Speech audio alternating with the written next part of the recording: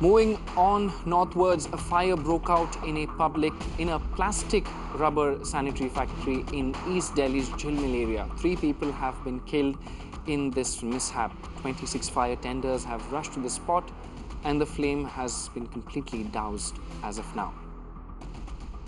I have my colleague Alok Singh joining me and Alok is right at the location of this tragedy.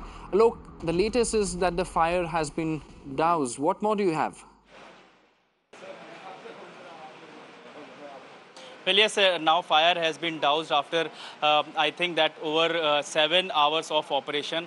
Uh, now uh, that uh, 30 fire tenders just came they came here and they pressed into services and they managed to douse off the fire around 3 p.m.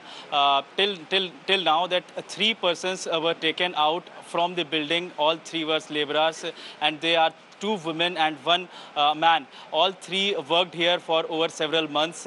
Uh, they were taken to the hospital where they were declared dead. Uh, what the prima facie told, uh, the, the, doctors told us that they died because of the asphyxiation. Uh, the reason uh, of the fire is stated to be there, there was a short circuit happened on the ground floor. This is the four-story building where this fire broke out in the morning around 9, 9, 9 and there were around 40 to 50 workers who were just about to start, start their work, daily routine practice, and in the meantime, that fire started. At the same time, they uh, some of them managed to come out, but however, there were few of them uh, trapped in the building. Uh, the fire department and the local police reached here. They started the operation.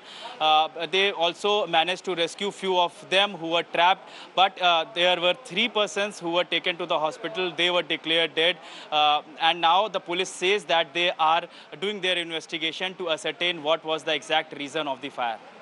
Back to you. All right, thank you, Alok, for getting us those updates.